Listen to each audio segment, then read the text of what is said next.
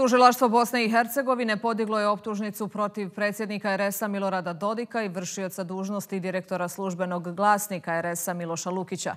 Terete se za kazneno dijelo na izvršavanje odluka visokog predstavnika iz krivičnog zakona Bosne i Hercegovine. Optužnica je prosljeđena na potvrđivanje sudu Bosne i Hercegovine. Od ove optužnice ne očekuje ništa novina Ravdo Avdić i smatra da je ona samo zamajavanje javnosti bez epiloga.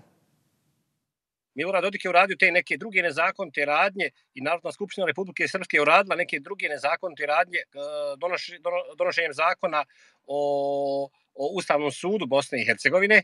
I kad sad pogledate optužnicu, vidjet ćete da Milorad Dodik uopšte nije optužen za krivično dijelo e, rušenje ustavno-pravnog poredka Bosne i Hercegovine, već je optužen za krivično dijelo neprovođenja odluka visokog predstavnika. E, u čemu je razlika? Razlika je ogromna. E, zašto? Zato što je krivično dijelo rušenje ustavno-pravnog poredka Bosne i Hercegovine minimalna kazna propisana 5 godina.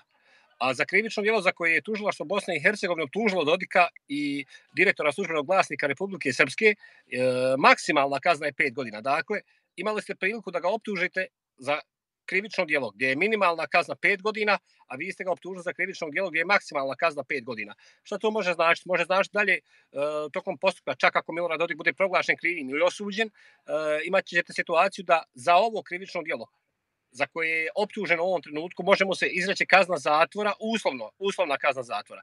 A ako mu izrekne uslovnu kaznu zatvora, u tom trenutku e, protiv njega ne može biti pro, e, primijenjena mjera koju je propisao visoki predstavnik, a to je uklanjanje sa pozicije e, na kojoj se trenutno nalazi. Dakle, a da je optužen za krivično djelo, gdje je minimalna kazna 5 godina, uslovna osuda u slučaju proglašenja, e, u slučaju osud, os, osuđujuće presude, e, bila skoro nemoguća. Dakle, dobio bi kaznu zatvora sigurno e, preko tri godine e, i u tom trenutku on ne bi mogao ostati na, na funkciji e, predsjednika Republike Srpske. Dakle, ogromna je razlika i formalna i pravna.